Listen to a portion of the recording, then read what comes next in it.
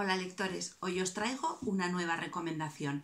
Hoy hablaremos del libro de Alexandro Barico, Seda, que también podemos encontrar en la plataforma eBiblio Aragón. Esta novela se sitúa a mitad del siglo XIX en Francia, en un pequeño pueblecito, donde Hervé vive con su mujer y se dedica a la compra-venta de gusanos de seda para confeccionar seda, uno de los tejidos más exquisitos que podríamos encontrar en aquella época.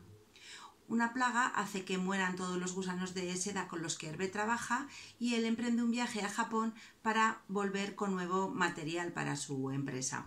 Allí conocerá un proveedor cargado de misterio y una mujer que cambiará su vida por completo.